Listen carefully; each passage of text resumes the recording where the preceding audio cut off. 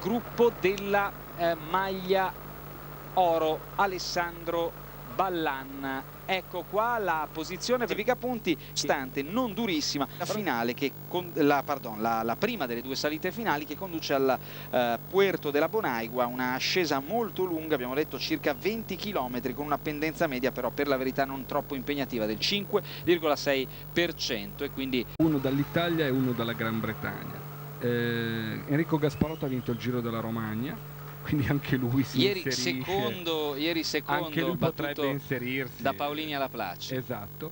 Ma devo dire con tutto il rispetto per Gasparotto che ha vinto una volata a 3 ha battuto Reda Francesco Reda Ehm, la notizia forse più bella arriva dalla Gran Bretagna, prima tappa del Giro della Gran Bretagna, due grandi indicazioni che arrivano sia da Petacchi che da, da, Danilo Di Luca. Danilo Di Luca ha fatto una gara tutta l'attacco, tanto per renderci l'idea è stato in fuga con altri 8 e sono stati presi a circa 10 km dal traguardo, poi Di Luca da solo è andato in fuga ed è stato ripreso all'ultimo giro, stoccata di Alessandro Petacchi che torna dopo 5 mesi di squalifica al successo successo.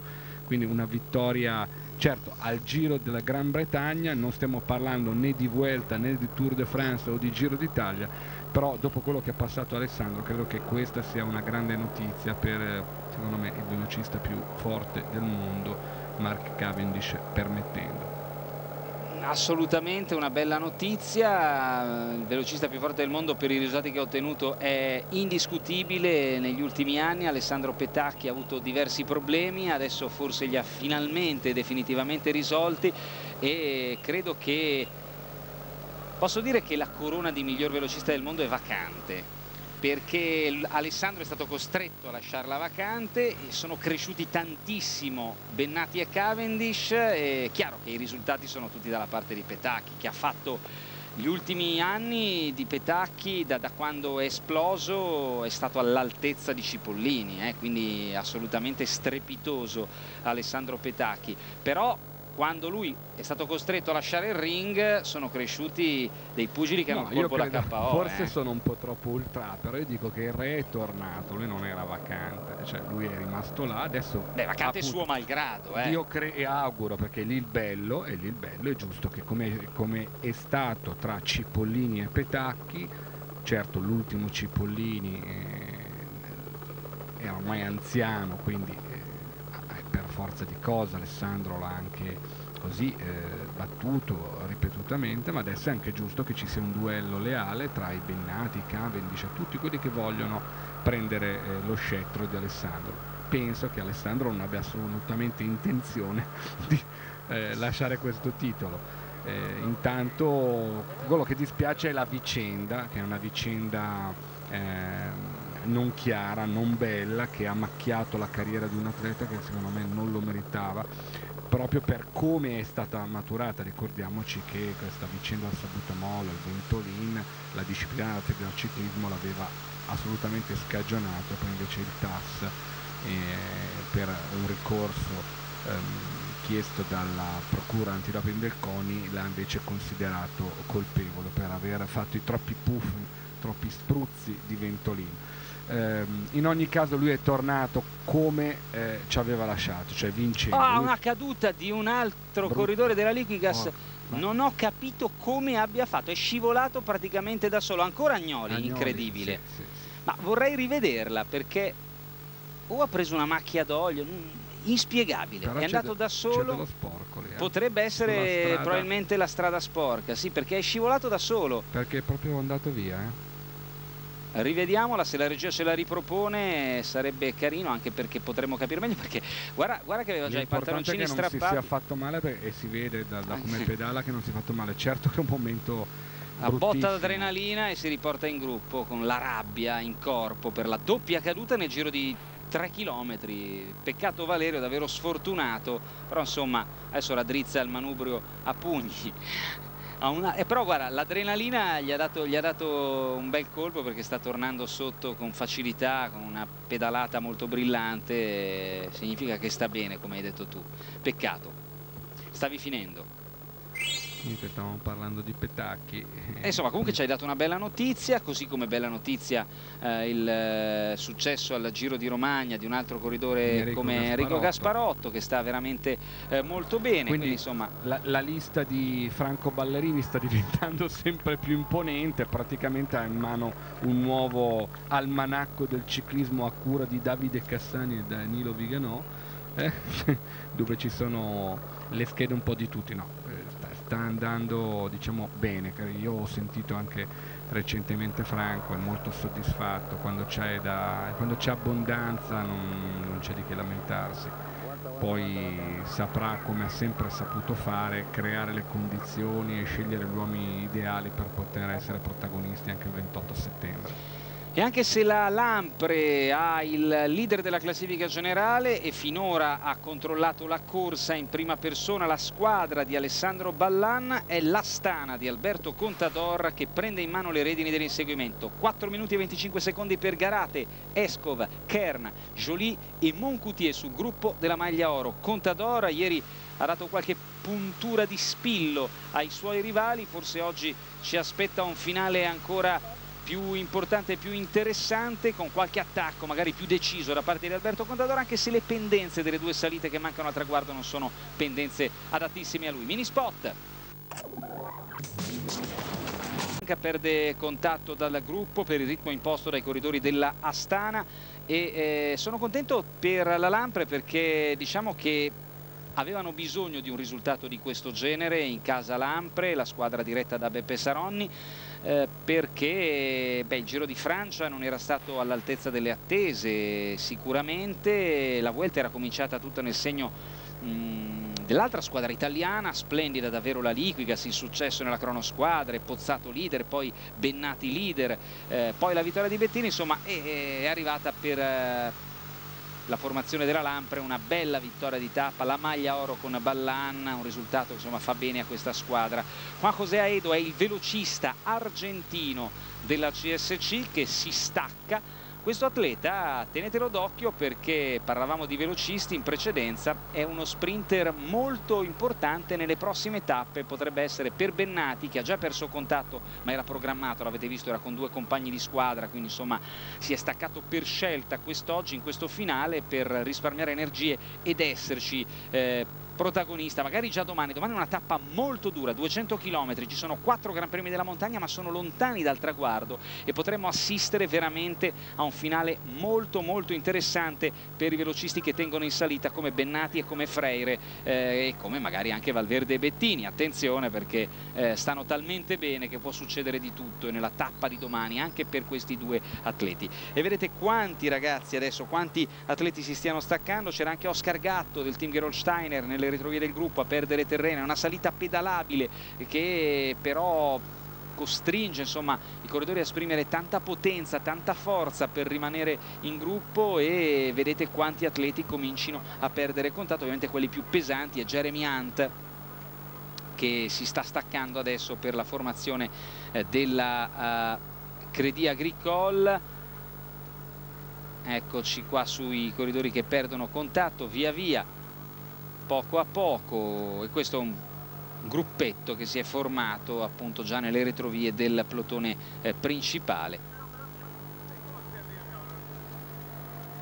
Andreas Klöden per quanto riguarda l'Astana c'è anche Vaitkus campione nazionale lituano in terza posizione. Non è certo un fatto che depone a favore diciamo così, del ritmo imposto dall'Astana dato che Vaitkus, ecco qua Silvan Chavanel, dato che Vaitkus dicevo è un velocista, un corridore molto pesante, molto potente eh, che appunto milita nell'Astana e non è certo la salita il terreno su cui si esprime meglio anche se è abbastanza insomma in grado di difendersi sugli strappi e sulle salite pedalabili come questa e lo sta facendo quest'oggi. Poi potrebbe staccarsi magari in un secondo momento. José Vicente Garcia Costa che è caduto eh, nella prima parte della tappa, sorride, saluta, vedete che ha il ginocchio sinistro fasciato, anche Bindi che ha svolto una grande porzione di lavoro in precedenza, altri corridori che perdono contatto e, e chiaramente chi non ha interesse a insomma, essere presente, questi è Wouter Weiland, il corridore della Quick Step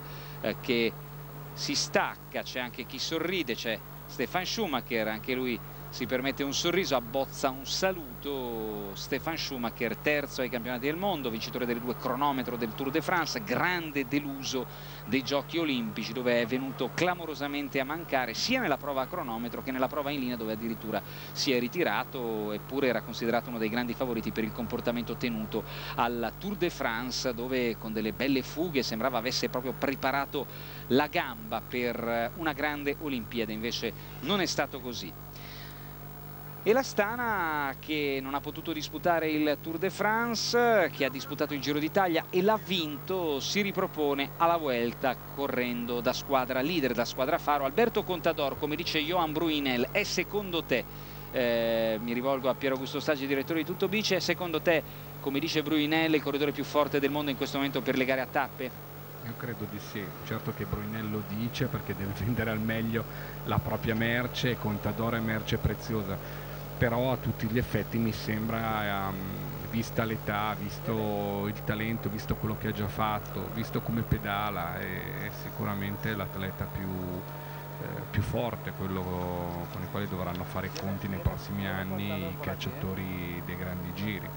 Quindi trovo che quest'anno il Tour de France abbia veramente fatto un eh, grave torto a questo ragazzo che aveva vinto l'anno scorso il Tour de France facendogli pagare colpe non sue e escludendole in maniera ingiusta lui e la Stana. E qui vediamo i cinque battistrada, eccoli qua, vedete Garate che non si è ancora mosso, potrebbe esserci un suo attacco, attenti anche a David Moncoutier che è in ultima posizione, mentre vedete Eskov, il russo della Tinkoff Credit System che si trova lì vicino in prima posizione in questo momento.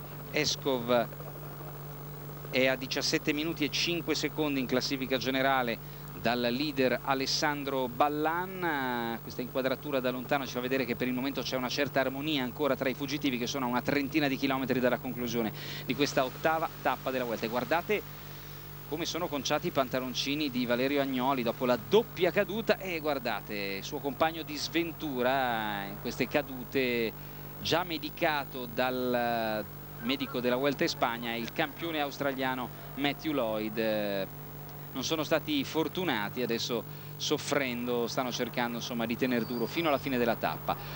Abbiamo visto Carlos Sastre, ieri comunque questo atleta spagnolo era lì con i migliori e si conferma un grande motore diesel, no? sì, lui c'è sì, sempre, non delude mai, magari il picco che ha avuto all'Alpe d'Huez in carriera l'ha avuto una volta sola, però è un corridore che c'è nelle grandi corse a tappe. Certo, questo mi sembra evidente perché c'è da diversi anni al fianco dei migliori corridori del mondo, li ha serviti fino all'ultimo giorno alla grande, concludendo sempre in ogni caso le grandi corse con posizioni onorevoli, non si è fatto mai lasciare andare via, cioè andare alla deriva, lui ha sempre ottenuto anche dei piazzamenti nei primi dieci importanti è un corridore che può sicuramente combattere fino alla fine per questa maglia oro anche se mi sembra Contador è più attrezzato anche con una squadra più forte Eccoci su Davide Moncoutier, in carriera ha vinto due tappe alla Tour de France, questi è Eskov, il russo della Tinkoff, eccoci su Garate che ha vinto la maglia verde al Giro d'Italia nel 2006, è stato campione spagnolo nel eh, 2005, settimo al Giro d'Italia nel 2006, decimo nel 2004, quarto nel 2003, quarto anche nel 2002 un Ungecco c'è un'altra caduta incredibile veramente in salita. Poi così frequenti non le ho mai viste in salita. Anche Cunego coinvolto però è ripartito ha mettere piede a terra. Sì sì esatto coinvolto nel senso che ha messo piede a terra ed è Davide Rebellin Davide Rebellin il corridore che forse è l'unico che ma senza nessuna grave conseguenza insomma riparte. Vediamo cosa è successo No, non ce lo fanno vedere. Sì, ce lo fanno sì, vedere, ma no, era già accaduto. C'è un break che sta arrivando, torniamo tra poco a seguire in diretta la Vuelta in Spagna su Eurosport.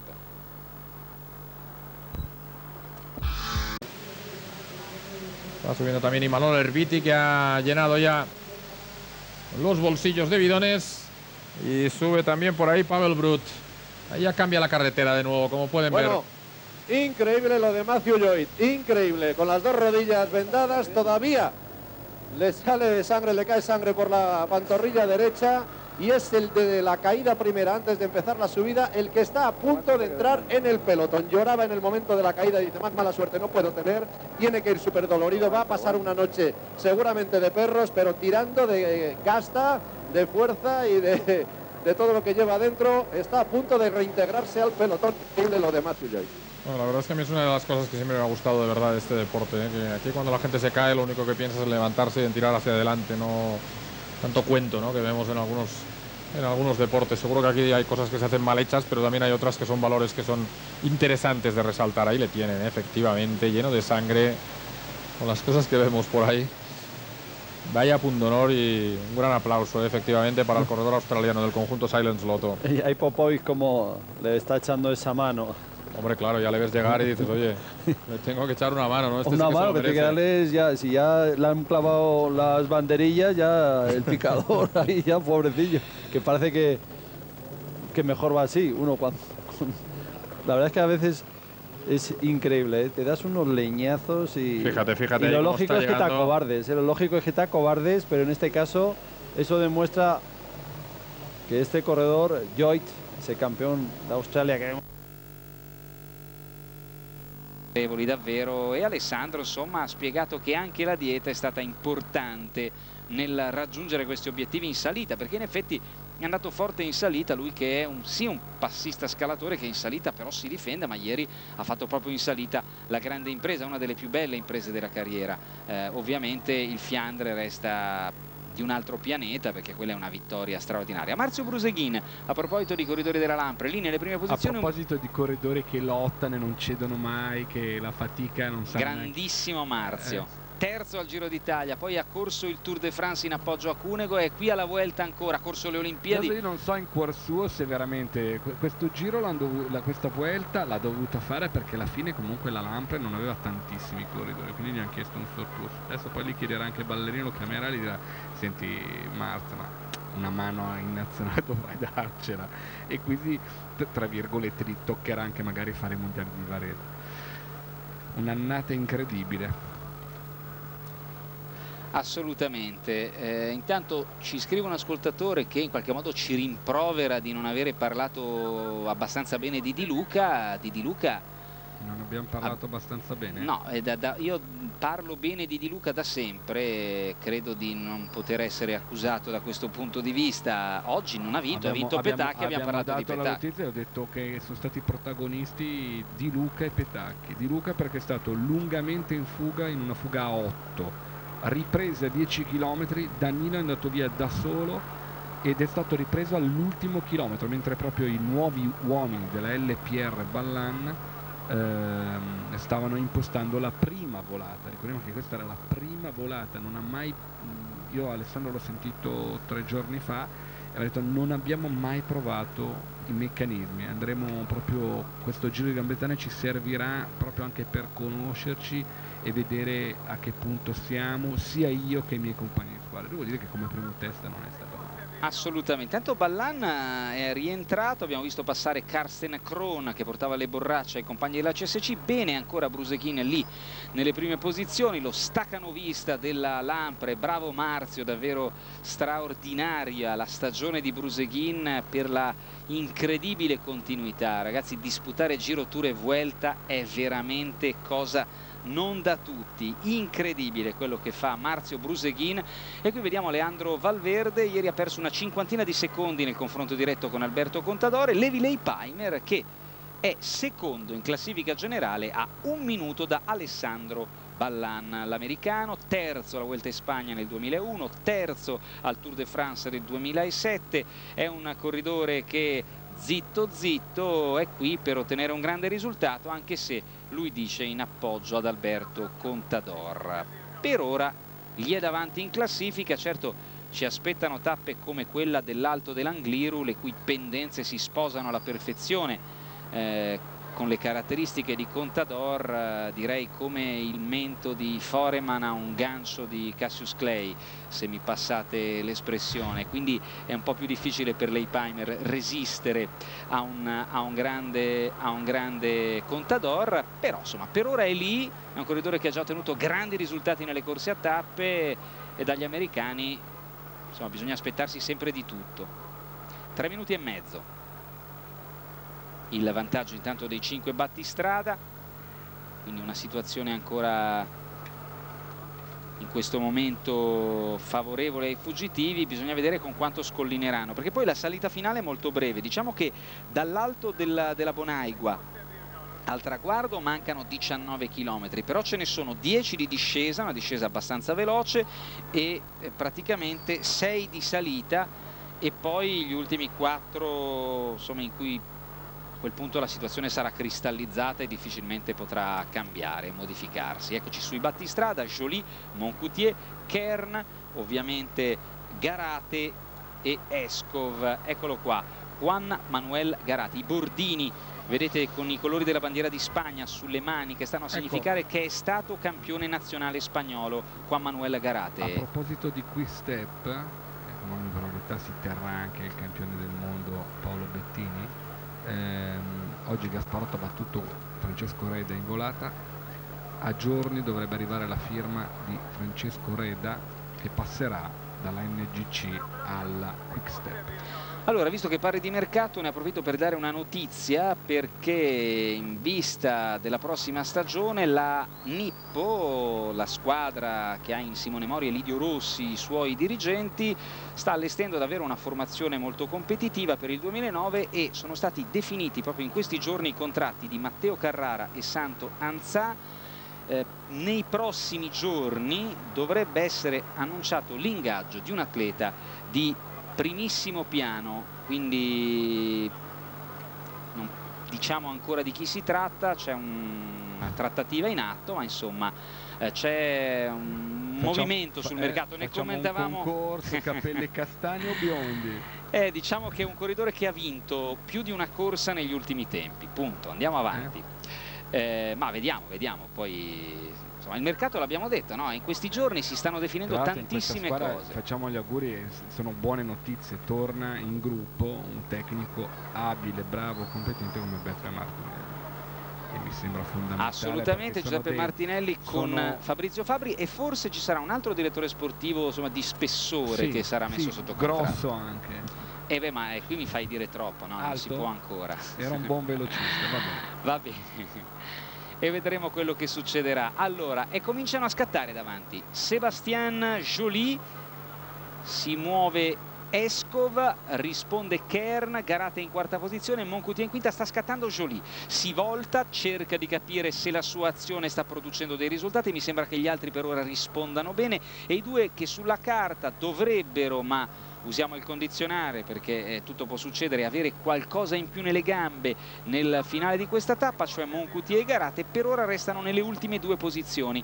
Avete visto David Moncoutier e Juan Manuel Garate, Moncoutier maglia bianca e rossa della Cofidis, Garate la questa ed è Escov che parte, il russo della Tinkoff Credit System è partito e Garate questa volta replica in prima persona. Guardate l'agilità di Moncoutier in ultima posizione sembra il meno brillante per ora. Kern si sforza in progressione Garate in agilità si riporta nella scia del russo. Belli questi duelli.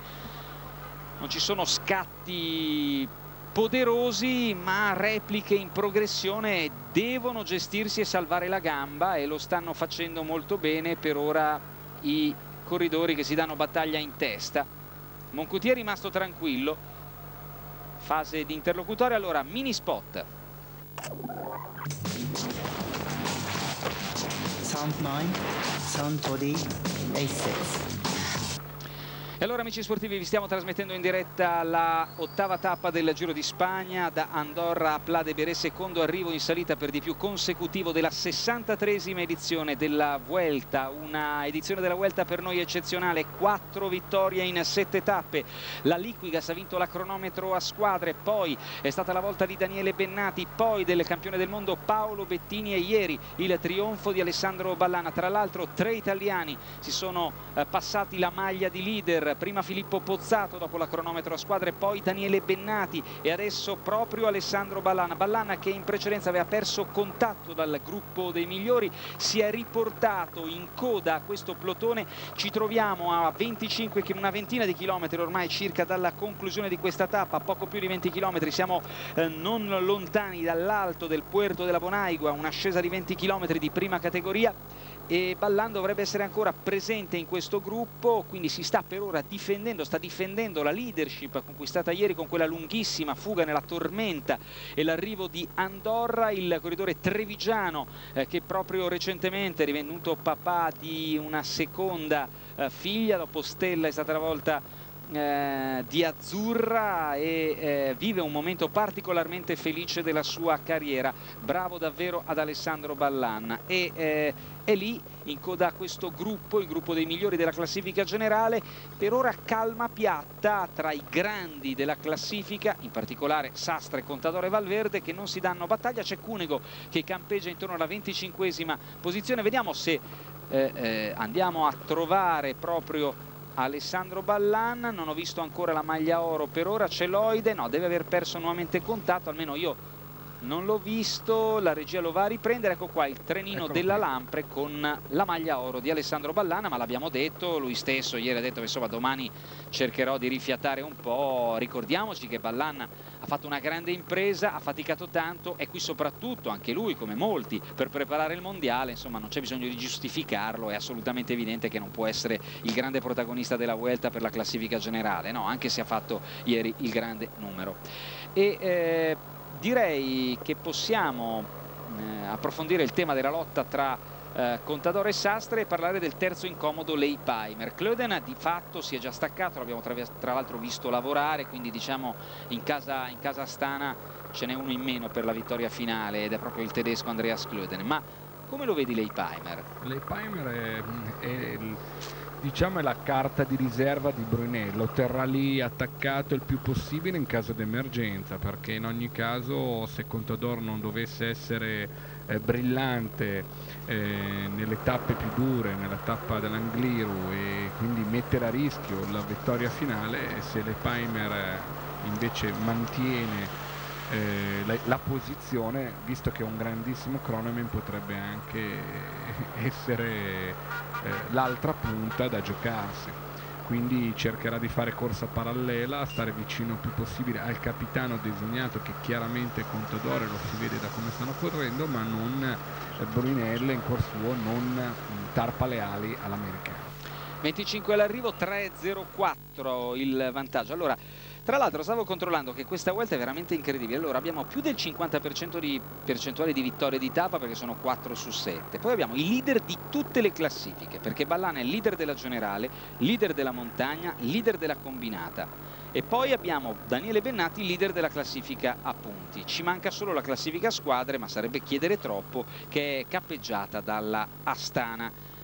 Eh, veramente una, un dominio totale e guardando la storia della Vuelta allora Vabbè, l'italiano che ha vestito per più giorni la maglia oro è stato Angelo Conterno per 18 giorni in maglia oro nel 1956 Battaglin 13 giorni nell'81, Marco Giovannetti 12 giorni nel 1990, Francesco Moser 7 giorni in maglia oro nel 1984, poi Roberto Visentini, il grande bresciano nell'80, 5 giorni in maglia oro, poi Felice Gimondi, beh allora si diceva maglia Maria per dire la verità, era la maglia gialla, adesso è diventata maglia oro per volere degli sponsor della Vuelta, comunque 4 giorni per Gimondi e Baldato, nel 68 Gimondi, nel 96 Baldato e 3 giorni per Fabrizio Guidi, uno nel 96 Due nel 98 e Daniele Bennati che è stato per due giorni in giallo eh, quest'anno e uno lo scorso anno, poi Biagio Conte, Danilo Di Luca, Bruno Silviotti, Michele Dancelli, Luigi Sgarbozza, anche lui, eh, Roberto Pagnini, Ettore Pastorelli, Gianluca Pianegonda, Filippo Pozzato, e Alessandro Ballana quest'anno per un giorno in maglia oro. Eh, questi sono tutti gli italiani che hanno vestito la maglia oro nella storia della Vuelta in Spagna, quindi insomma abbiamo ottenuto dei buoni risultati noi nella storia, soprattutto negli anni più recenti.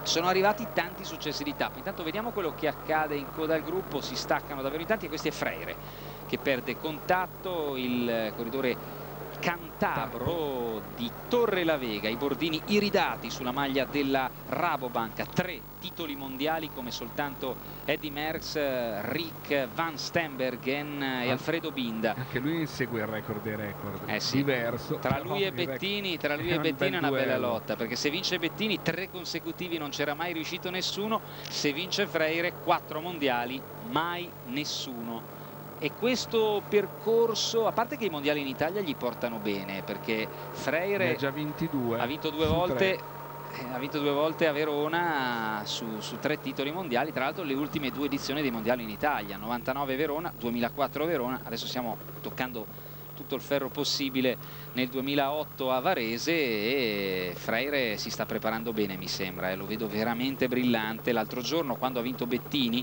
eh, secondo Gilberto, terzo Valverde, quarto Freire, quinto Bennati.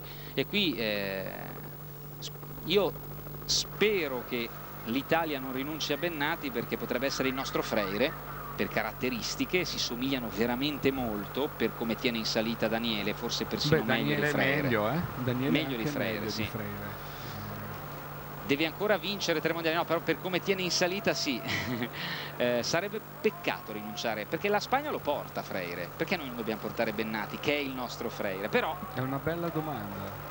Ci vorrebbe, ci vorrebbe, ballerini, ci vorrebbe ci ballerini. Vorrebbe un ballerini qui, eh? Allora, ci vorrebbe, lo stiamo ritracciando. Dai, Franco, porta Bennati. Eh, adesso vediamo se ci conforta. Damiano Cunigo che si stacca. Intanto perde contatto Damiano, io credo che Damiano stia programmando una prima parte di Vuelta più tranquilla, tra l'altro ricordo che ha lavorato nella prima parte della tappa per Ballan e spero che nella seconda parte della Vuelta Damiano entri in gioco.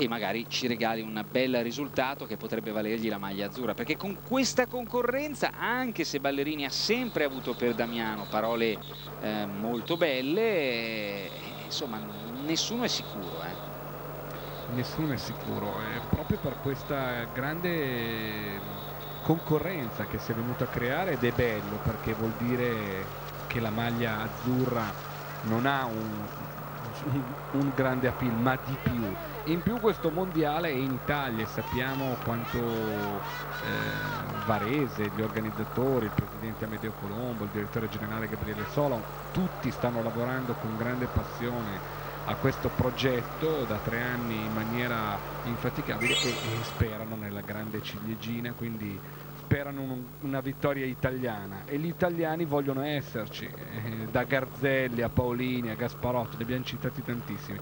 Intanto ci sta seguendo Marino Bartoletto, collega, che mi manda un messaggino d'appoggio e d'aiuto su Bruseghin e non ha assolutamente torto, Bruseghin non solo ha corso Giro Tour e Vuelta ma anche Olimpiade e, e, e forse e, correrà al mondiale. Quindi forse nessuno come lui ha corso così tanto. Quindi lo ringraziamo anche per questa puntualizzazione. Assolutamente però ricordiamo che il segno distintivo di Marzio Bruseghin che sono le, il cappellino con le orecchie del ciuco perché lui eh, alleva come tutti sanno oltre a insomma avere qualche ettaro di vite per produrre prosecco che lui chiama amez che in basco è una parola benaugurante vuol dire speranza eh, le orecchie di ciuco che sono il simbolo sono il suo simbolo distintivo perché lui li alleva non perché a furia di lavorare e di tirare in testa al gruppo gli sono venute no, poi, le orecchie come di dice ciuco, lui, grande, grande Marzio. è un atto ingiusti, proprio di ingiustizia sull'asino perché passa per animale eh, gran faticatore che è anche vero ma un po' stupido, che è una sciocchezza clamorosa perché invece l'asino è un animale molto intelligente, molto sensibile e, e quindi bisogna anche un po' sfattare questa brutta leggenda. Eh, in realtà l'asinello è un'immagine molto dolce, molto bella, molto, molto rassicurante anche. Devo dire che c'è, un ritorno, non so se sia merito di Marz Bruseghin, ma sento e vedo grande attenzione attorno a questo animale, questo cosa molto, molto, molto dolce che ehm, sta diventando veramente un animale non dico eh, di moda perché non è neanche giusto che ci siano animali più o meno di moda, ma eh, Beh, ma è bellissima, è bellissima la simbologia legata a Marzio, anche quel calice, quel senza, calice la senza la base, perché così lo devi bere per forza prima di appoggiarlo, è, è stupenda. E, insomma, se, eh, e poi Marzio è una persona particolarmente intelligente, quando ah, ci parli le, insieme. Guarda, in realtà sgri va sgridato perché vince poco perché eh le conferenze stampa di Marzio Bruseghin sono una cosa spassosa, bella, una persona per bene, intelligente, sagace, riesce sempre a dire qualcosa di, eh, di personale, non, mai banale. Eh, al Giro d'Italia tu eri con noi e ci, ci siamo divertiti con lui, è stato veramente un grande spettacolo e abbiamo fatto anche il tifo perché lui riuscisse poi alla fine a coronare il suo sogno. Per due e... secondi su Pellizzotti, terzo sul podio del Giro d'Italia, Marzio Bruseghin per la prima volta nella carriera, grande, grande Marzio. C'è un mini spot, torniamo tra pochissimo.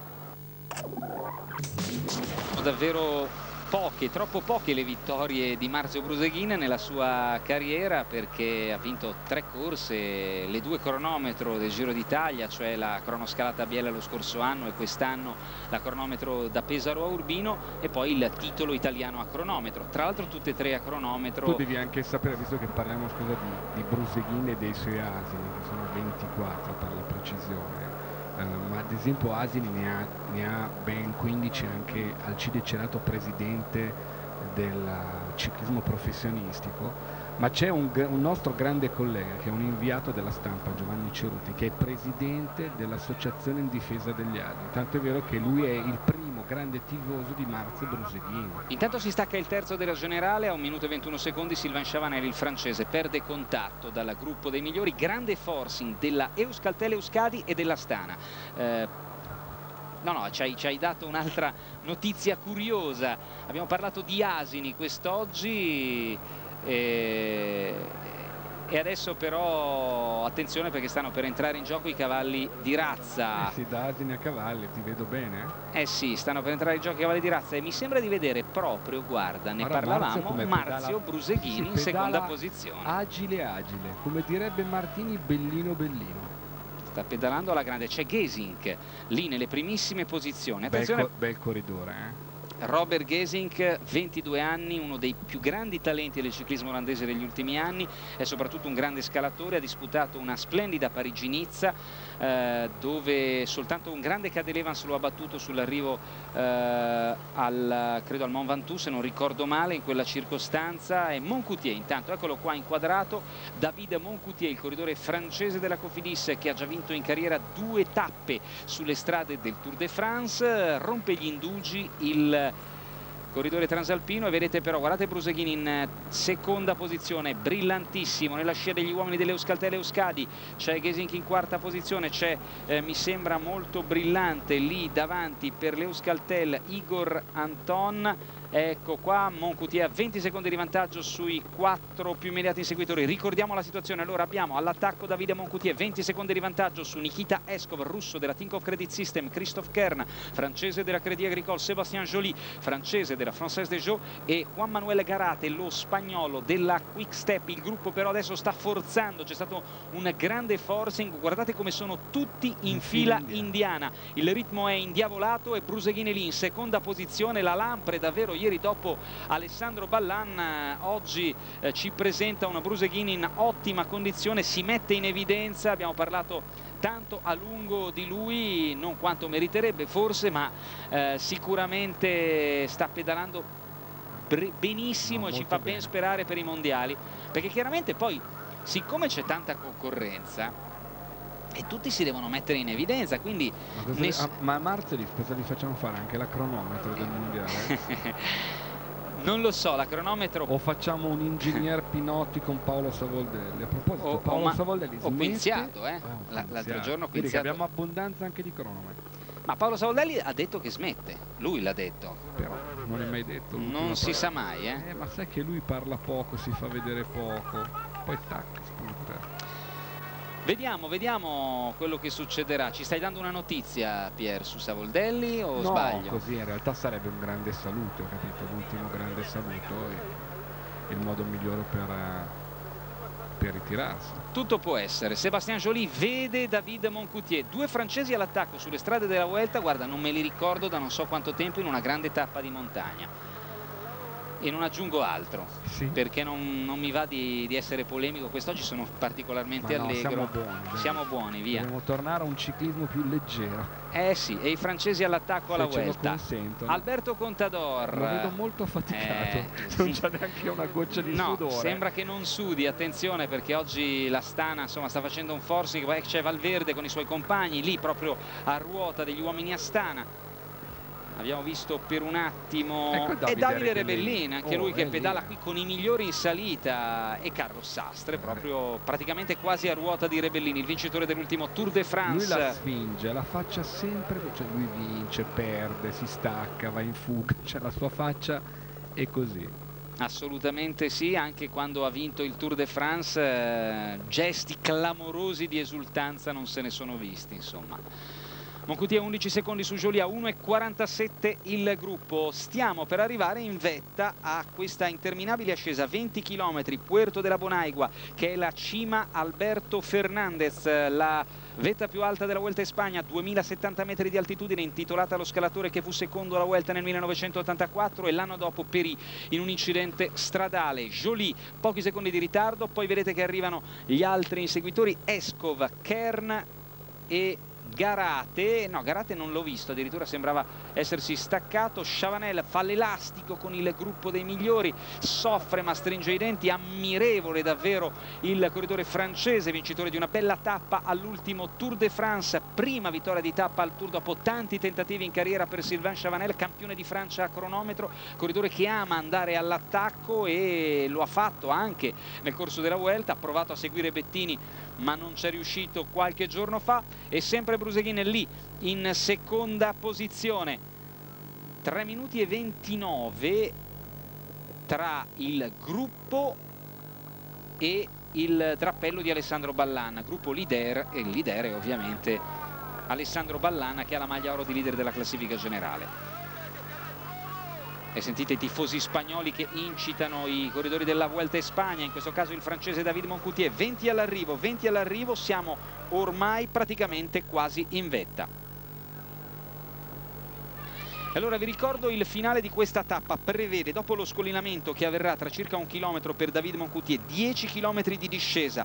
E poi subito dopo 6,2 km di salita, quindi eh, per arrivare eh, in vetta alla salita di eh, Salardou Naut Aran e poi altri 3 km e mezzo prima di giungere a Pla de Beret dove è posto il traguardo. 3 km e mezzo di leggerissima discesa di falso piano la sofferenza di Sylvain Chavanel che stringe i denti, guardate le Euskadi sono veramente indiavolati. I corridori baschi, siamo sui Pirenei a casa loro. E ovviamente insistono con grande determinazione gli uomini dell'Euskaltel che hanno Inigo Ranton e Michel Astarlosa gli atleti sulla carta in grado di fare meglio quest'oggi. Si stacca, perde terreno Sergio Paulinho. Paulinho, il portoghese vice campione olimpico ad Atene nel 2004 corridore dell'Astana no, No, forse sta rientrando adesso comunque un ritmo veramente forsennato.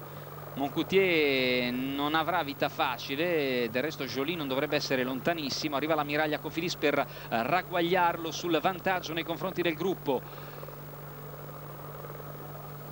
Mi piacciono direttore le, le tappe dei grandi giri di quest'anno con tante fughe che sono arrivate al traguardo.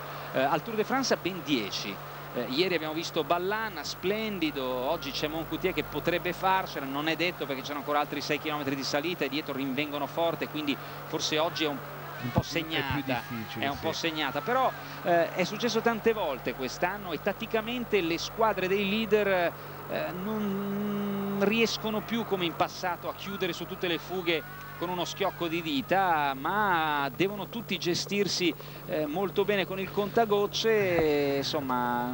Non voglio lasciarmi andare a, ad entusia no, no, facile entusiasmo no, non perché dobbiamo, non voglio non non dobb- dobbiamo. l'abbiamo fatto e troppe invi- e volte. ti invito alla prudenza. Hai ragione. Però di sicuro ehm, diciamo che corrono meno da sembra da superuomini l'ho detto sembra che corrono un po' meno da superuomini. Questo è un questa è un'indicazione importante dietro alle spalle i capitani cercano di fare la corsa la loro corsa lasciando anche qualcosa agli altri eh, che magari osano e vanno appunto a, a cercare sin dal mattino il loro spazio il loro varco.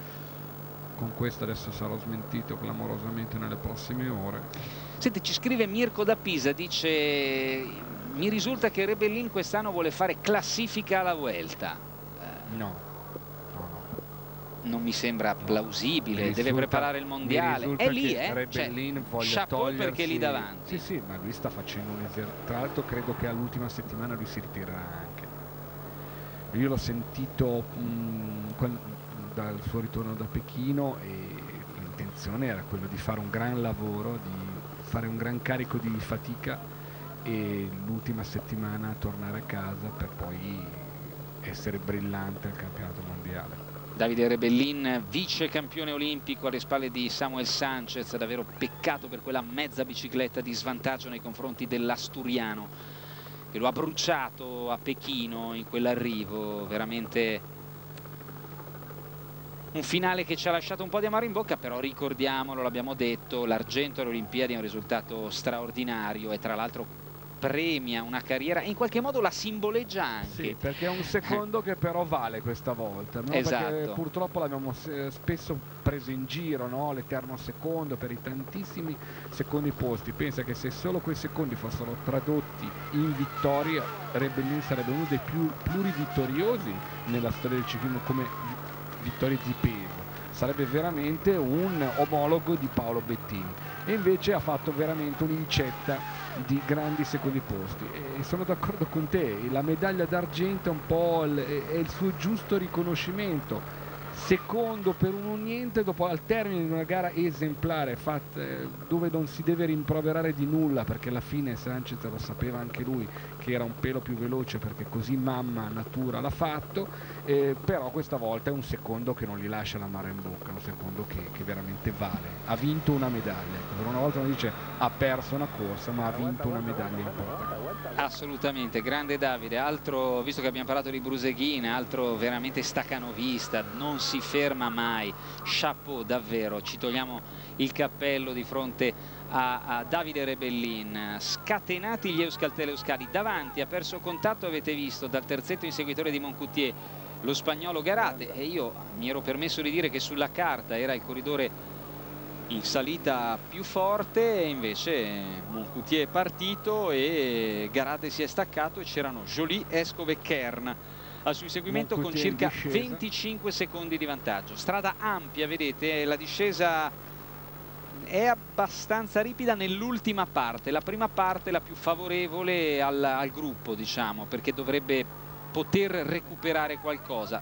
Chiamiamolo gruppo ma sono rimasti in pochi eh, veramente in pochi perché ci sono ancora 20-25 corridori. È già passato, è già trascorso un minuto e mezzo, un minuto e 35 da quando Monquiti è transitato in vetta. Bruseghin sempre lì in seconda posizione. Siamo alla porta della Bonaigua. Moncuti dunque si è aggiudicato la cima Alberto Fernandez il premio. 1,42 1,42 si veste vedete il campione del mondo Paolo Bettini in coda al drappello dei migliori. Anche lui pedala alla grande. Ha mancato Eh, forse la borraccia? Sì. Paolo peccato per lui mancano pochi chilometri alla conclusione c'è un break che sta arrivando non andate via strade della Vuelta in Spagna siamo a 15 km dalla conclusione dell'ottava tappa secondo arrivo in salita al comando David Moncoutier eccolo qua il francese che cerca di resistere al ritorno del gruppo gruppo che ha inscenato grazie soprattutto agli uomini dell'Euskaltel Euskadi un inseguimento forsennato lungo l'ultima salita grande selezione tutti in fila indiana sono rimasti circa 30 corridori con ovviamente i migliori della classifica generale eccezione fatta per la maglia oro di Alessandro Ballan. 1,42 il vantaggio di Moncoutier Moncoutier sul gruppo, mentre nel mezzo intercalati ci sono gli ex compagni d'avventura di Moncoutier vale a dire eh, Christophe Kern, francese della Crédit Agricole, Sébastien Joly, altro francese della Française des Jeux e il russo della Tinkoff Credit System Nikita Eskov che hanno circa 25 secondi al rilevamento sul Gran Premio della Montagna del Puerto della Bonaigua. Poi c'era Juan Manuel Garate, lo spagnolo, che però ha perso contatto nel finale della salita il corridore della Quick Step e pertanto insomma, sembra essere uscito definitivamente di scena per quanto riguarda la lotta per il successo di tappa. Paolo Bettini è il corridore con la maglia di campione del mondo, ovviamente troppo facile riconoscerlo in coda al gruppo dei migliori della classifica generale eh, e vedete Jolie che è in discesa, guardate come pedala con il massimo rapporto sul filo degli 80 all'ora, ha raggiunto e adesso lo supera anche addirittura Moncoutier che si è fatto un po' sorprendere e ne perde la scia, deve dare tutto per andare a riprendere il suo con nazionale mi sembrava eh, pedalare con un rapportino ma in realtà ha credo il 53 o 54 11 stava pedalando sul filo degli 80 km orari in discesa. E qui nelle discese pedalabili bisogna spingere a tutta non si accorge che Moncuti vedete sfruttando la scia adesso si riporta sotto e insomma non si è fatto sorprendere se fosse stato Cancellara sarebbe stato più difficile rientrare sì. ripensando alle Olimpiadi ma con Jolie, con Jolie gli è andata meglio. Incredibile Canc di Cancellara. Attenzione. attenzione per Varese 2008 esatto esatto. Fabian Cancellara è veramente e non mi riferisco solo alla cronometro no, no, diciamo no, che la cronometro quasi gliela, gliela do già. Cioè, gliela segni già così a tavolino. Gli altri sulla possono fiducia. sulla fiducia. Troppo forte. Effettivamente alle Olimpiadi ha fatto un numero impressionante e su quel falso piano che segue l'ultima salita e che conduce al traguardo fa veramente paura perché potrebbe ripetere il numero della Sanremo. Lo stiamo dicendo adesso, siamo al, al 7 di settembre, quindi insomma speriamo che Ballerini prenda le contromisure eh, e che gli appiccichi qualcuno alla eh, ruota sì, sì, insomma, ma proprio, però ma proprio appiccicato appiccicato però, col, possibilmente con la corda. attaccato alla sella. Ci vorrebbe perché vabbè ma queste cose le sanno ovviamente tutti i tecnici. Il problema è che anche se lo sai quando ti piazza un attacco dopo 255 km eh, a 60 all'ora in pianura eh, e ti fai sorprendere per mezzo secondo diventa in, quasi impossibile riprenderlo. Quindi e quindi insomma inutile che ne parliamo. Speriamo, speriamo, che gli azzurri abbiamo dei grandissimi corridori l'abbiamo detto la concorrenza è alta è tanta perché sono tanti atleti di, di grande livello di grande spessore che possono fare bene però anche all'estero i campioni non mancano la Spagna è formidabile Cancellara sta benissimo e poi ci sono altri atleti che possono essere protagonisti e pericolosi insomma quindi è un mondiale incerto, anche se abbiamo una squadra di altissimo livello con campioni eccellenti.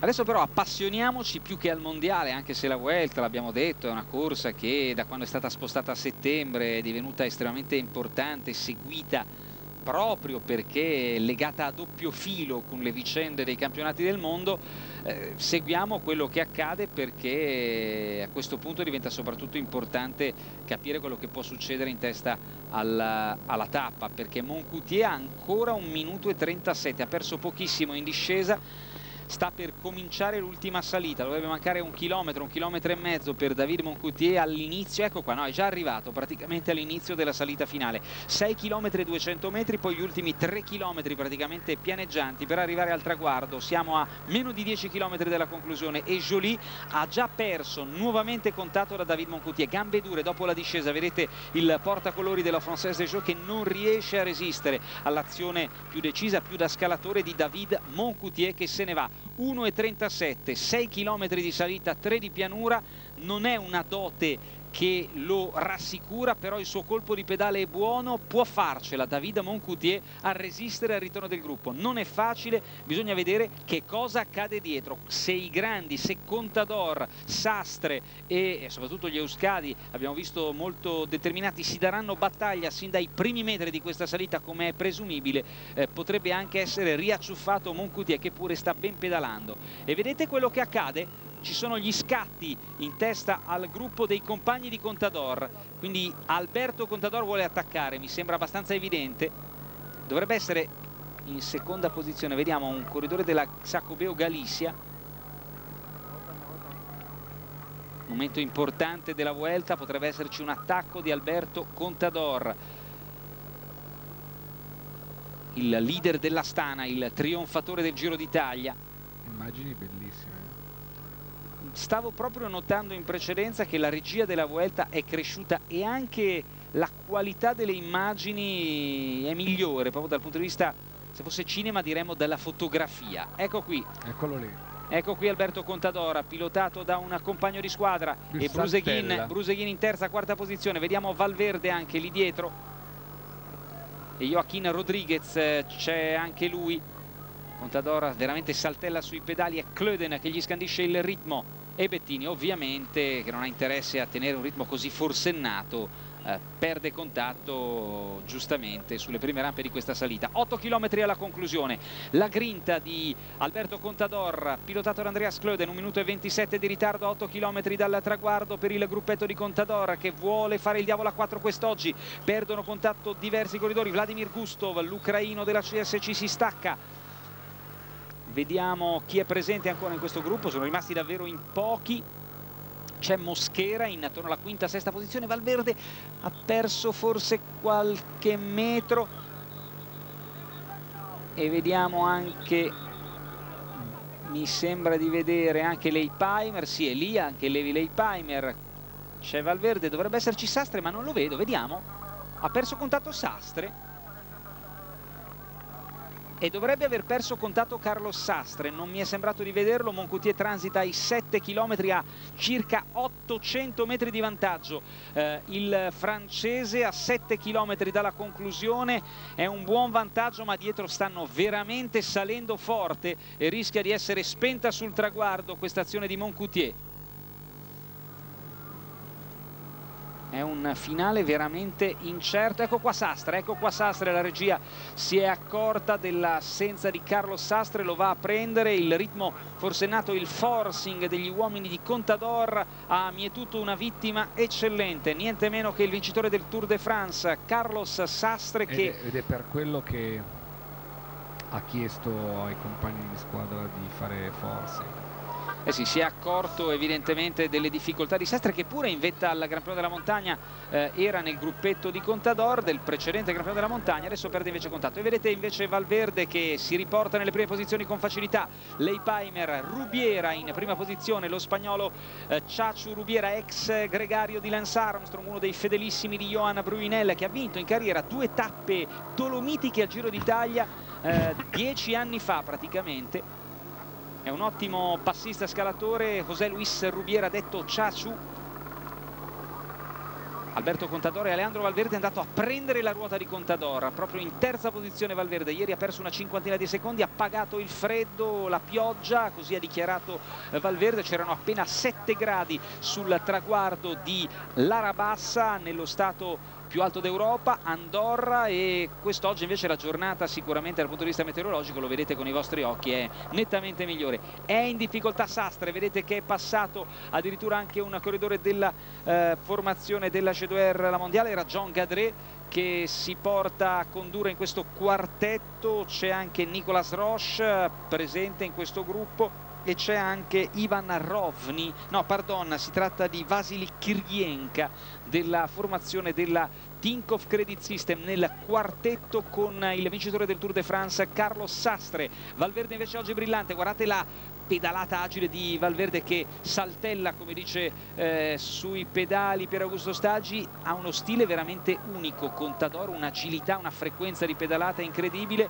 Ehm, a cronometro si difende benissimo più di tutti gli scalatori che io ricordo e in salita quando piazza le sue accelerazioni fa paura. Oggi sembra intenzionato a, a fare qualcosa di importante anche se questa salita è pedalabile non è adatta proprio alle sue caratteristiche. E di rapporto però è importante. Intanto ha fatto fuori Carlo Sastre ieri l'avevamo anche un po' anticipato che in questa Vuelta probabilmente sarebbe stato più un duello Valverde-Contador e, e, sembra che stia andando così eh, però credo che sulle pendenze molto più aspre e Contador abbia il colpo di pedale migliore rispetto ad Alejandro Valverde. Anche perché poi questa è una tappa con una salita di rapporto e, e tappa corta si tappa di 151 km Valverde avete visto con la sua bicicletta che ha i colori della bandiera di Spagna? Ricordo che Aleandro Valverde anche se non indossa la maglia tipica eh, gialla e rossa del campione nazionale spagnolo è il campione di Spagna in carica per una scelta diciamo così, di fedeltà allo sponsor, alla Caisse d'Epargne, ha preferito non indossare la maglia, ha solo dei bordini molto più spessi sulle maniche eh, della eh, sua maglia della Caisse d'Epargne e poi ha eh, la bicicletta che appunto ha i colori giallo-rossi eh, della bandiera di Spagna. 6 all'arrivo, 1,25 il ritardo di Sastre dalla testa della corsa ma paga già una ventina di secondi dal gruppo di Contador e di Valverde. È un diesel, eh, non cede, non crolla. E Leipheimer entra in gioco in prima persona. Levi Leipheimer entra in gioco in prima persona, addirittura adesso si muove e va all'attacco e mi sembra Gesink, sì. Il corridore della Rabobank che sta, riportandosi su Levi Leipheimer. Seguito credo, non mi sembra Valverde, è un compagno di Valverde alla Caisse de Pan potrebbe essere Joaquin Rodriguez che in salita va veramente forte dovrebbe essere lui, vediamo Eccoci qua con Valverde che è in terza posizione al fianco di Contador, c'è Bruseghin ed è rientrato adesso migliori. Carlos Sastre. Sì. Si è riportato sotto Sastre, vedi che è un diesel, lui non, non si arrende attenzione perché adesso Leipheimer ha staccato Contador. Eh, attenzione. 5 km al traguardo intanto parte ancora una volta il cronometro e verifichiamo adesso il vantaggio di David Moncoutier aveva un minuto e 20 un insetto sulla telecamera allora vuole vedere anche lui la sta tenendo alla grande Moncoutier perché ha perso 20 secondi nei primi 3 km di salita e direi che il ritmo è buono. E vedete Sastre perde di nuovo qualche metro fa le accelerazioni gli manca qualcosa. Non è la prima volta che in carriera vedo fare queste cose a Carlos Sastre, è un diesel, l'abbiamo detto, un corridore che tiene duro, che non ha le accelerazioni, i cambi di ritmo Alpe d'Huez al Tour quest'anno a parte e, eh, dove peraltro ha fatto uno scatto solo eh. poi dopo è andato su con il suo passo che sì, era però al termine di una tappa che la CSC aveva esatto, corsa a manetta esatto, assolutamente eh, e, adesso, e adesso è lì che stringe i denti tiene duro cerca di resistere al forcing della formazione della uh, Astana. Rubiera sempre a scandire il ritmo, però vorrei capire se Leipheimer è ancora avanti. No, no, no, no dovrebbe essere rientrato. in terza posizione e, e, terza ruota. Hanno recuperato altri 10-12 secondi, 5 all'arrivo, 1 minuto e 11, però si difende, si difende alla grande Moncoutier. Sì, adesso è secondo Leipheimer, dietro a Rubiera, Contadora è più indietro, intorno alla sesta, settima posizione e c'è stata l'accelerazione di Arroyo. Arroyo con Leipheimer che lo va a prendere immediatamente. Arroyo che in classifica è a 5 minuti e 24 secondi è una delle carte in più della Caisse d'Epargne per la classifica e Leipheimer che è secondo in classifica a un minuto immediatamente e con facilità devo dire si riporta nella scia del portacolori della Caisse d'Epargne. E forse la Caisse d'Epargne adesso comincia a dubitare della condizione di Contador. Vediamo perché mi sembra che stiano orchestrando qualcosa per magari un attacco di Valverde addirittura che ieri ha incassato una cinquantina di secondi di ritardo dal suo connazionale leader della Stana oggi potrebbe andare all'attacco. Grande tappa davvero di Moncoutier invece che resiste, si perde terreno. Ovviamente è stato a lungo in fuga con altri quattro uomini per quasi tutta la tappa. Ecco che è partito ecco che è partito Alberto Contadore ci toglie tutti i dubbi. Lo scatto secco di Alberto Contadore il vincitore del Giro d'Italia un'accelerazione furibonda con Valverde che è l'unico che resiste all'accelerazione di Contador. Guardate la facilità con cui accelera, insiste, insiste, si siede Valverde, questa è una tappa pedalabile più adatta forse a Valverde che a Contador, ma guardate non si è ancora seduto, incredibile, uno scatto di almeno 500 metri con cui ha guadagnato 200 metri sul gruppo di Leipheimer e degli altri, Gesink e eh, Sastre eh, cercano di rispondere ma è dura. Tanto sta facendo comunque dei danni. Li ha sparpagliati davvero lungo questa salita Alberto Contador l'accelerazione che aspettavamo. Valverde molto bene nella sua scia però rimane lì guarda rimane lì con un rapporto molto più lungo mi di Contador. mi sembra attaccato al manubrio. E sta arrivando Anton credo per le Euskaltel Euskadi. E qui abbiamo il gruppetto di Lei Paimer con Moschera Eccoci qua, siamo nella scia allora di Valverde, di Igor Anton e di Alberto Contador. Tre spagnoli all'attacco, tre uomini di classifica importanti. Anton, come vedete, a 3 minuti e 17 secondi eh, di ritardo in classifica generale. Valverde con un rapporto molto più lungo, riparte Contador. Riparte secco Alberto e questi sono scatti che... Eh, sono lunghi perché non è che si, non si volta neanche e prosegue per almeno 200-300 metri impressionante Anton perde di nuovo contatto e rientra in progressione attenzione eh, perché Anton ha scelto scientemente di non rispondere a differenza di quello che fa Valverde che ovviamente non vuole dare a Contador nemmeno un metro perché poi se no Contador proseguirebbe con una grande progressione. Se invece Contador si trova a ruota Valverde potrebbe anche rallentare e Antona potrebbe rientrare nuovamente. Ovviamente sono scelte tattiche, però qui Contador sta facendo male, eh. guadagna un metro su Valverde che è in punta di sella, adesso sta soffrendo per resistere alle accelerazioni di un grandissimo Contador. Mamma mia che scatti Contador, fa paura. E qui Sastra invece che non ha assolutamente questi cambi di ritmo. Sì, gli manca qualche, qualche dentino eh, perché deve mettere qualche rapporto in più se vuol fare la differenza con Valverde. Grande Gesing anche comunque perché che questa, lì di grandi pendenze su questa salita non ce ne sono. Ecco che arriva Anton vedete la scelta di Antonio. Probabilmente non è che ha un'altra non è che poteva scegliere di rimanere lì eh. evidentemente anche lui è al limite perché qui Contador è Contador ragazzi. Stiamo parlando di uno dei più forti corridori del mondo forse il più forte scalatore del mondo in questo momento. Quindi è chiaro che quell'accelerazione può anche non avere la forza di tenerla però saggiamente non fa nemmeno lo sforzo per 10 metri in più decide di proseguire col suo passo e avete visto che Antonio è rientrato. È una scelta che potrebbe premiarlo eh, se questi tre dovessero arrivare eh, poi al traguardo. Vedremo eh, perché con Contador e Valverde è molto molto molto dura per chiunque. Però 3 km intanto per il battistrada Moncuti è partito il cronometro.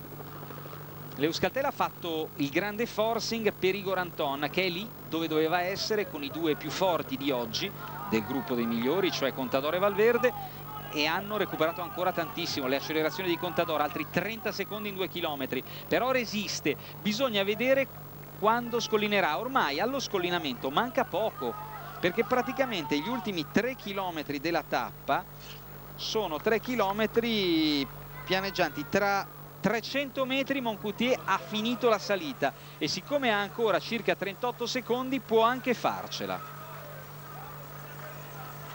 può anche farcela, incredibile davvero bravissimo Moncoutier, guardate la fatica, sa che siamo agli ultimi metri di grande fatica, poi potrebbe trovare le energie dietro verosimilmente sulla, in pianura Contador sarà meno scatenato, però vedete che non sono lontani. No, no, no, no.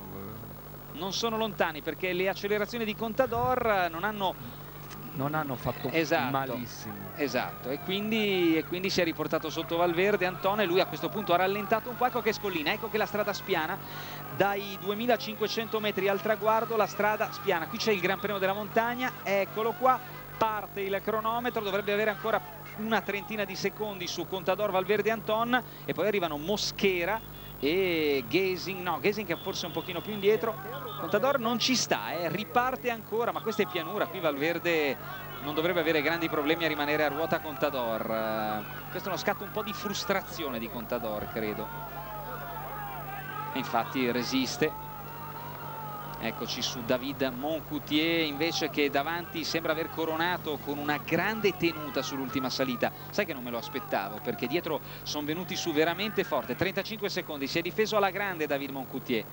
E veramente la Francia ottiene un risultato alla Vuelta importante con David Moncoutier dopo aver vestito la maglia oro con Sylvain Chavanel nei giorni scorsi.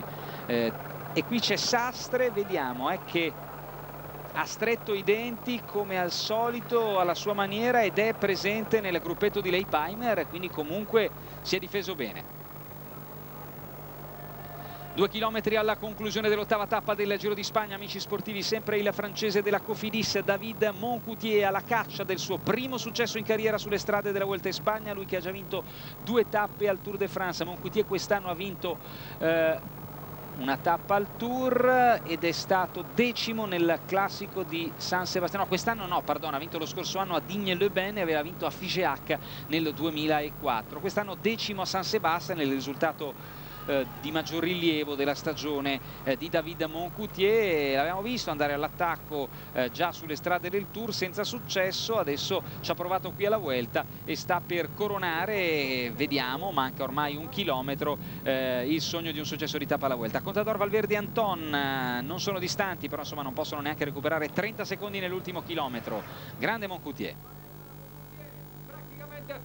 E sentite lo speaker che esalta la prova del corridore francese. Vediamo quello che accade dietro. Stanno arrivando Contador Valverde e Anton. 4 ore 24 minuti di corsa per coprire i 151 km di questa ottava frazione della Vuelta. David Moncoutier ottiene una bella vittoria alza le braccia ha resistito alla grande al ritorno del gruppo la media di una tappa così impegnativa 34,2 una media piuttosto elevata. Contador, Valverde e Antona hanno ancora una decina di secondi sul gruppetto di Sastre e di Lei Paimer. Vediamo la volata per il secondo posto. Ci sono gli appuoni eh, per il secondo e per il terzo 12 e 8 secondi rispettivamente. Eccoci con Valverde favorito in questo sprint su Contador che tra l'altro ha tirato per tutta la salita. E siamo allo sprint che Valverde credo vincerà abbastanza agevolmente. Anton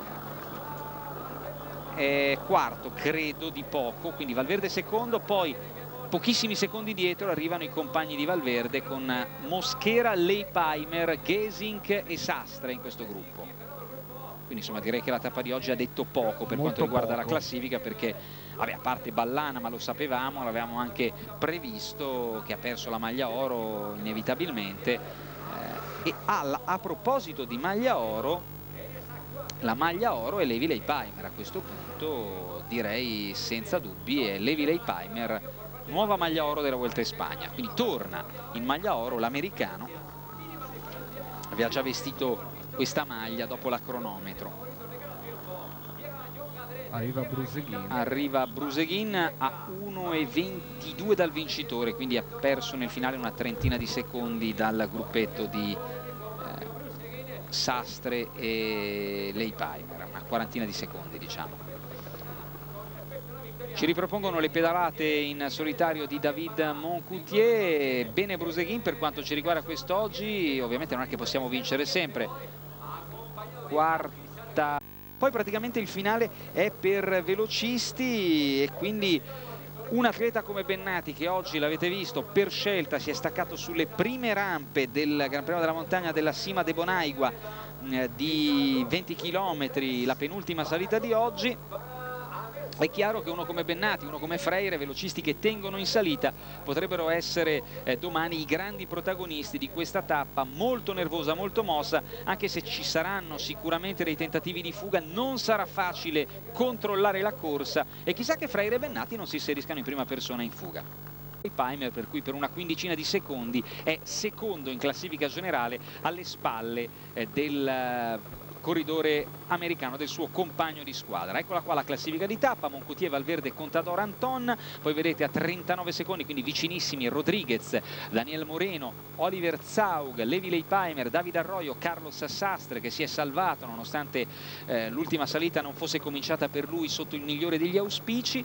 E poi dovremo avere tra poco la classifica generale con la conferma di Levi Leipheimer leader. No questa è ancora la classifica di tappa con Ezechiel Moschera e Robert Gesink che chiudono il gruppetto eh, di Sastre poi Gadré a 1.22 Jolie che era in fuga Kirienka Van Golen e Bruseghin a 1.23 Nicolas Roche che è un ottimo corridore sta crescendo alla grande il figlio del grande Steven Roche eh, a 1.36 e via via eh, ci vengono proposti insomma, gli arrivi di tutti i primi 30 corridori che eh, si sono eh, già portati oltre il traguardo di questa ottava tappa della Vuelta in Spagna. Andreas Klöden chiude questa schermata, la terza pagina dell'ordine d'arrivo, il tedesco che era partito forse con eh, qualche speranza in più per la classifica generale per quanto riguarda le ambizioni personali.